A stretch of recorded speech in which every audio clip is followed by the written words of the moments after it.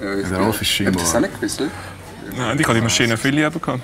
Hey, Inti, welcome to the bar. You want a beer? Thank you, yeah. Could we have a beer for Inti, please?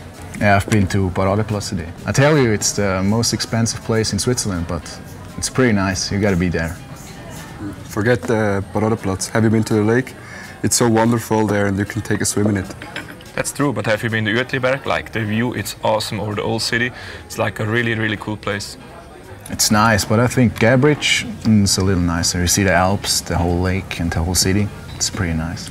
And if you just turn around on the bridge, you can see the whole old town of Zurich with all the nice churches and restaurants. It's really nice. Yeah, and after you can go to Bahnhofstrasse for uh, shopping. It's such a cool place. You gotta go there. Can I say something? You forget about the most important thing in Zurich, the Hallenstadion, our home. Eight times Swiss champion, three times Swiss Cup champion, one time Champions League, and one time Victoria Cup. Yeah, you're right. Cheers for the whole It's actually. Yeah. Cheers. Cheers. Cheers.